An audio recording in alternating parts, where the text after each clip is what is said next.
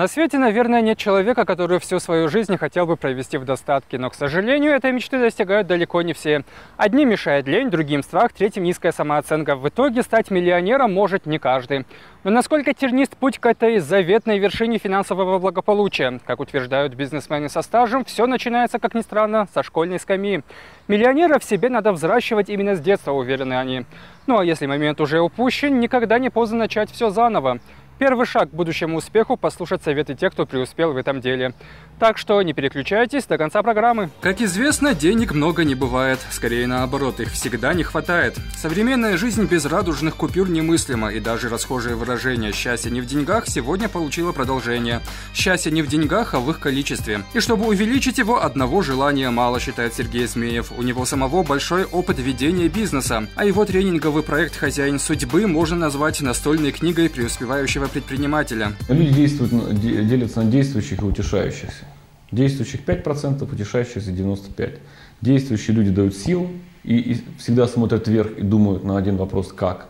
Мне стать таким же. Они не завидуют, они радуются этому. И они а, искренне хотят стать таким же. Неважно, в профессии, в бизнесе, где угодно. Неважно, в творчестве, неважно. Они смотрят и думают, как мне тоже да, взять лучшее от этого человека. Утешающиеся, они всегда говорят, почему они это не могут, ищут пример более неуспешных людей, тем самым утешаются, говорят, слава тебе Господи, мне еще не так плохо. А на этом, кстати, построено все телевидение, чтобы было понятно, ну их 95%, поэтому когда показывают негативную какую-то информацию, говорят, слава Богу, метеорит пролетел не над нами, Господи. Или там вот, да, пенсию не платят, но находят сюжеты, показывают сюжет о такой несчастной, несчастной бабушке, самой несчастной, у которой вот все, у нее даже собака несчастная, кошка несчастная и петух несчастный, и все несчастное. И все остальные бабушки говорят, слава тебе Господи, у нас еще ничего. Бизнес это сад. Вот как дерево посадил, и ты ухаживаешь за ним. Вот оно выросло, начало плодоносить. Окей. Засохло по тем или иным причинам, жук прилетел, постановление правительства, рейдерский захват там и так далее. Ну, выкорчевал его, засохло, новое сажаешь. Сергей Змеев владеет целым предпринимательским холдингом. Кроме того, он рантье, инвестор, долларовый миллионер.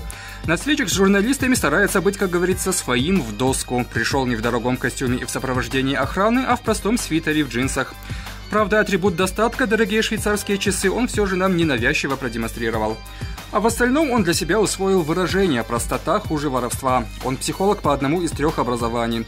Свою карьеру начинал с нуля, вспоминает Сергей. Будущий финансовый магнат основы экономики и торговли постигал не по учебникам, как его одноклассники, а на практике. То, что я называю бизнесом, в 91 году я начал заниматься поставкой из Измаила э, этими поддержанной авторезины. Ну, 90-е годы, ничего нет, общий дефицит, да, то есть возможности.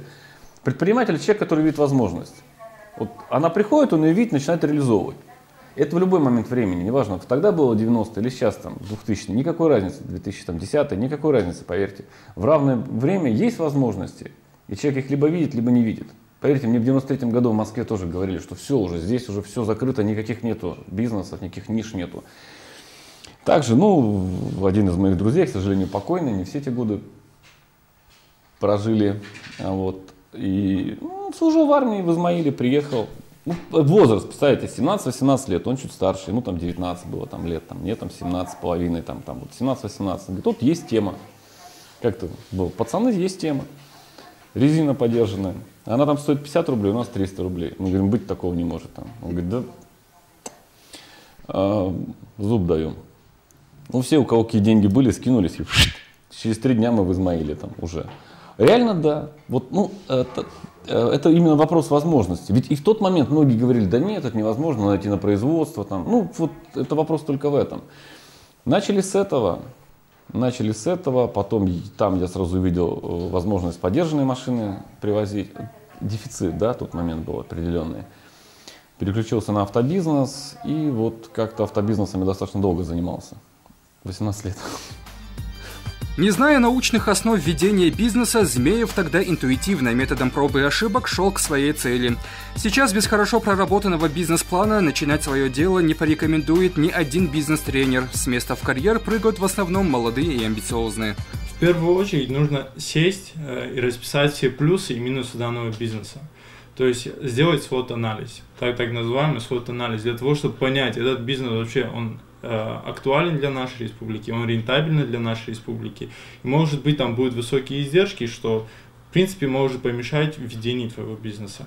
На сегодняшний день большинство ребят умеют делать свод-анализ, просто сесть и расписать на листке бумаги плюсы, минусы, угрозы и возможности, я думаю, сможет каждый. Просто не каждый может потратить на это время, не каждый хочет потратить на это время.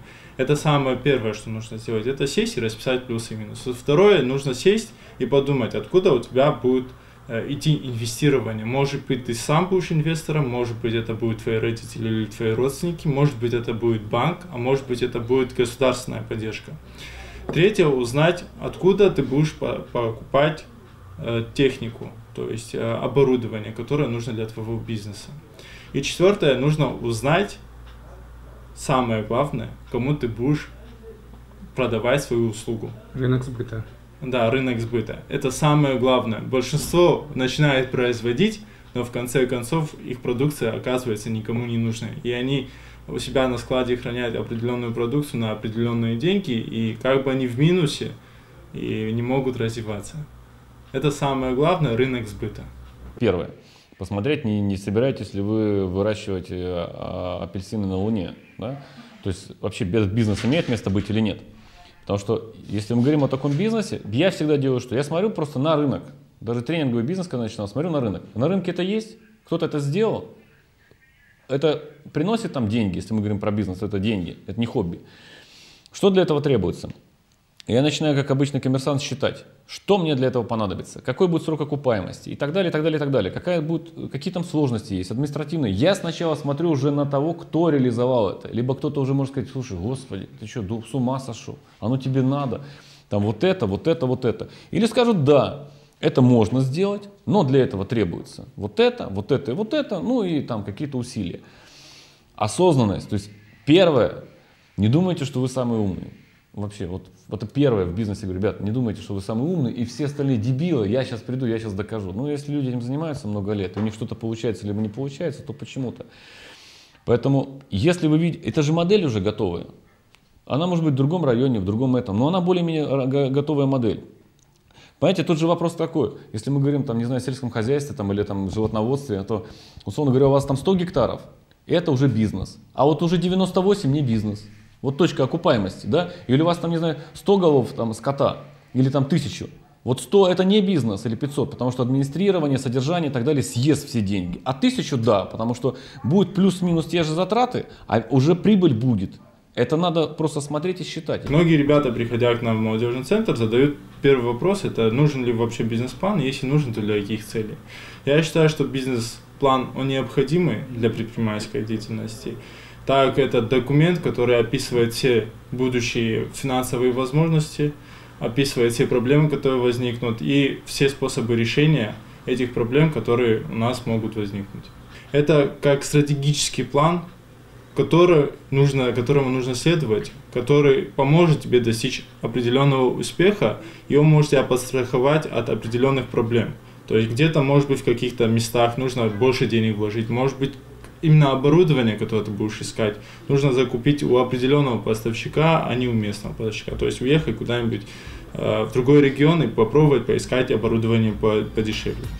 Ты бизнесменом можешь и не быть, но в финансах разбираться должен, так считают большинство экономистов. Правда, наше население, видимо, не желает к ним прислушиваться. Мало кто может посчитать, из чего состоит его собственная заработная плата, каким образом начисляется пенсия и прочие финансовые потоки. Что такое финансовая грамотность? Если сотни человек дать 10 тысяч долларов, 80 из них или 80% потратят все деньги к концу года. 16% с теми же 10 тысячами долларов, возможно, получат 10 тысяч 50, если положат эти деньги в банк. А 4%, получив эти 10 тысяч, в конце года будут иметь от 20 тысяч до миллиона или больше. Вот это я и называю финансовой грамотностью.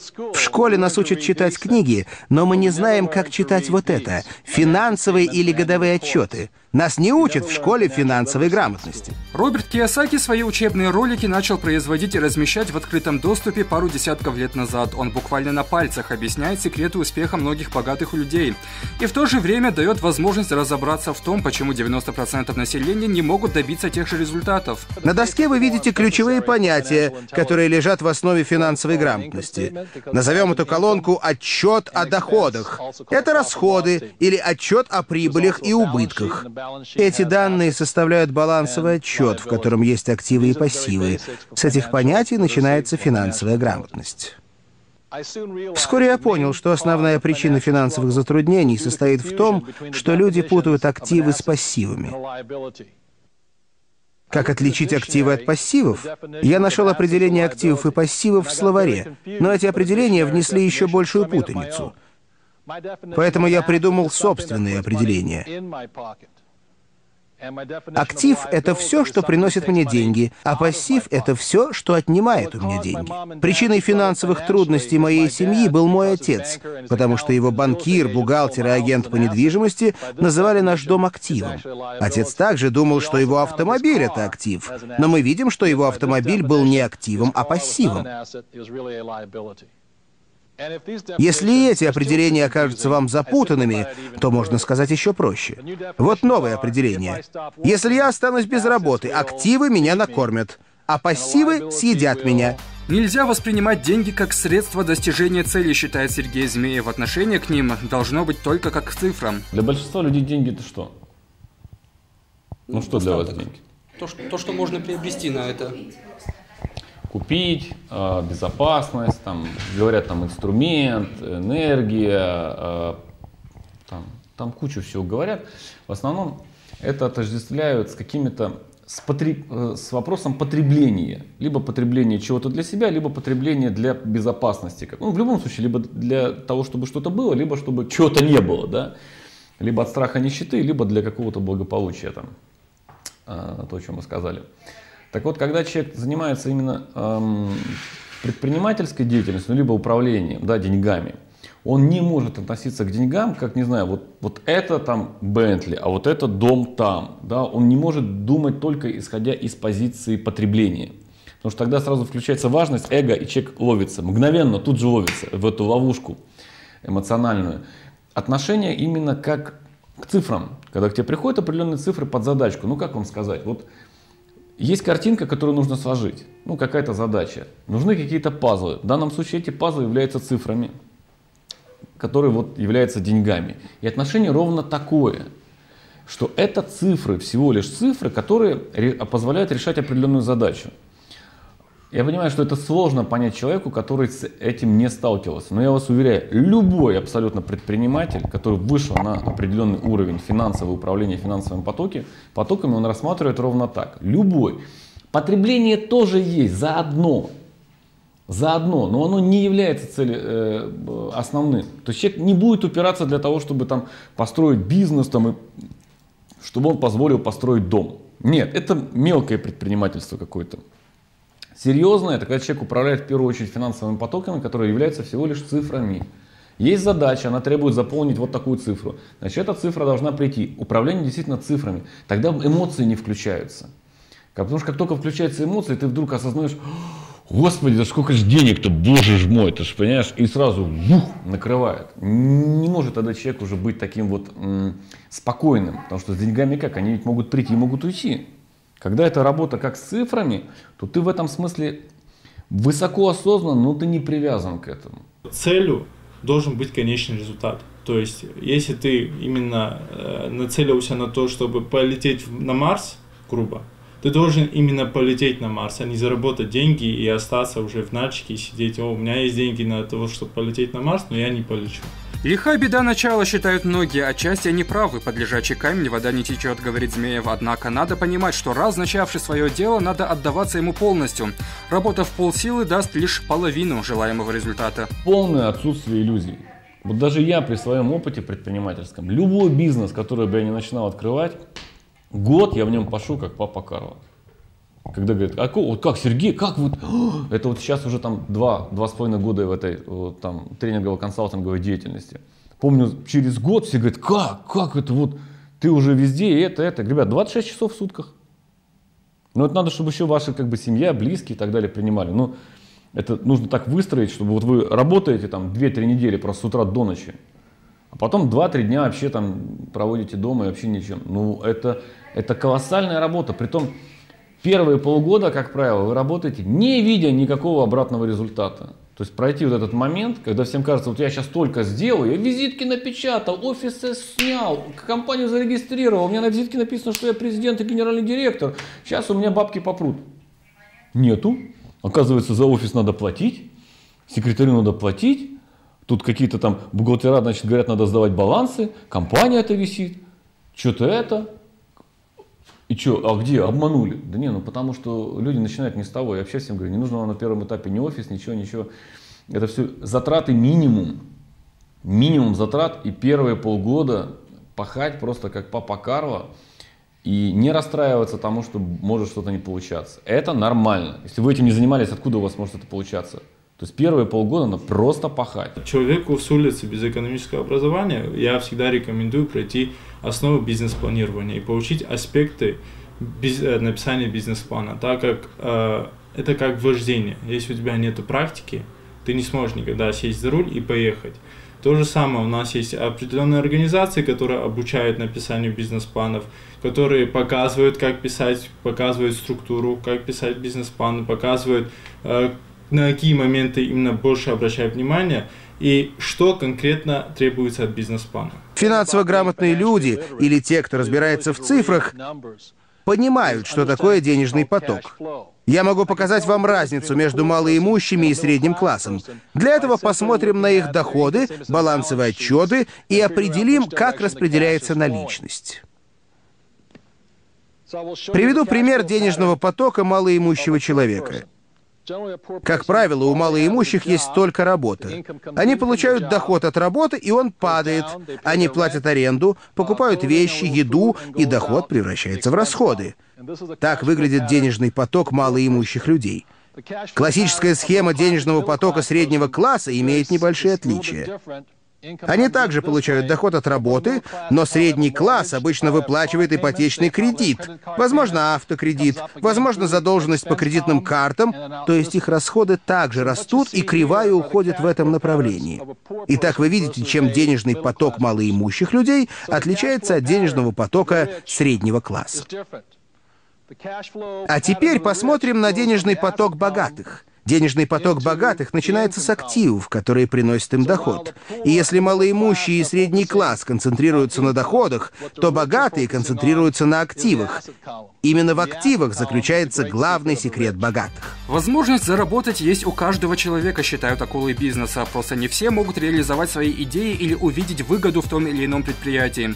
Прежде всего, надо начинать с организации имеющихся финансовых средств, советуют опытные предприниматели. Я после 20 лет в бизнесе 22 уже да, на данный момент. Могу сказать смело, не обязательно быть предпринимателем. Надо быть предпринимателем по жизни, то есть реализовывать себя. Если вы реализованы в творчестве, в профессии, да славьте Господи. Зачем вам еще иметь административный какой-то персонал, думать о них, платить налоги, ну, бог, ну много чего. Вам оно надо, зачем? Чтобы просто сказать, я свободен. Многие же идут в бизнес, чтобы свободу реализовать. Потом говорят, куда ее деть, эту свободу? Большинство коммерсов говорят, слушай, пойду поработаю по найму, отдохну абсолютно каждый серьезный предприниматель приходит еще к чему? Ну, проходит этап какой. Первое, нет денег, второе, деньги появляются, потом слепание с деньгами, потом обязательно разлипание с деньгами. То есть абсолютно четко любой коммерсант а, в какой-то из моментов своей жизни терял деньги. Всегда. Вопрос, как я люблю шутить, что во всех книжках написано, что первый миллион приходит там долго, второй приходит вот так, мгновенно. Я говорю, ну нигде не написано, что уходит практически так же быстро. Почти у всех. Вопрос в том, что некоторые быстро с этим справляются, выдыхают, сбрасывают себе это эго и идут, говорят, окей, все. Некоторые с этим не справляются, они цепляются в эти эмоции. Они инициативные все, они хотят начать собственное дело, но большая часть из них э, не обращает внимания на бизнес-план и начинает свое дело, на авось пронесет. Но, к сожалению, большая часть из них закрывается уже через год, потому что нет определенного опыта, нет определенных наработок, которые помогут им в э, ведении бизнеса. То есть они берут кредиты, они за, берут деньги у своих родственников, начинают э, на бум, открывают какой-то магазин, открывают шиномонтаж, открывают кафе, но, к сожалению, рассчитывают риски. Э, не рассчитывают, какие деньги придут к тебе через полгода, какие деньги тебе окупят твои все закупки. И из-за этого большинство ребят закрывается. Сначала у вас будут определенные материальные ценности, на которые вы будете там деньги копить, зарабатывать, стремиться к ним. Это, невоз... это неизбежно абсолютно. Вы пройдете сначала этот этап, удовлетворите свои какие-то первичные, там, вторичные потребности. А потом, если у вас будет появляться какая-то задача, которая будет требовать финансов, это уже мышление инвестора, понимаете? Вот в данном случае, если вы захотите пойти в эту э, стезю, то у вас неизбежно это мышление либо появится, либо вы начнете развивать. А так, ну, вы будете развиваться как специалисты, вы будете там что-то откладывать, я надеюсь, там вести какой-то финансовый бюджет свой, что-то там тратить на семью, на отдых там и так далее. Ну, можно быть, э, не обязательно быть предпринимателем, не обязательно. А, надо быть человеком высоко осознанным в отношении с деньгами. Единственное, чтобы понимать, что деньги все-таки э, требуют тоже некого такого уважения. То должно быть хотя бы минимальное планирование, хотя бы там, минимальное какое-то видение, хотя бы минимальное. Потому что обычно люди, они абсолютно в этом смысле неосознанны, особенно те, кто бездумно берут кредиты на всякую ерунду. Есть еще риски такие, что большинство ребят, не обращают внимания на господдержки. То есть у нас в республике сейчас существует очень большое количество программ поддержки малого и среднего предпринимательства и поддержки господдержки э, АПК, осуществляемые местной администрацией городских поселений, осуществляемые сельхозразвития Кабардино-Балкарской республики. То есть это выделение, безвозмездное выделение гранта на осуществление своего э, дела. Многие ребята боятся участвовать в таких конкурсах, потому что они не верят, что в них можно выиграть, они думают, что там нужны связи, но это все не так. Э, хорошая идея, хороший бизнес-план и грант можно выиграть очень легко. То есть у нас есть много молодых э, ребят, которые уже участвовали в таких грантовых конкурсах, выигрывали деньги, реализовывали свои бизнес-идеи. Самое главное – любить свое дело, говорят успешные предприниматели. Начать свой бизнес и поставить его на ноги всегда тяжело. Но, как гласит народная мудрость, без труда не выловишь и рыбку из пруда. Так что в огромном океане современных возможностей не поленитесь поймать свою рыбку. Вдруг она окажется золотой.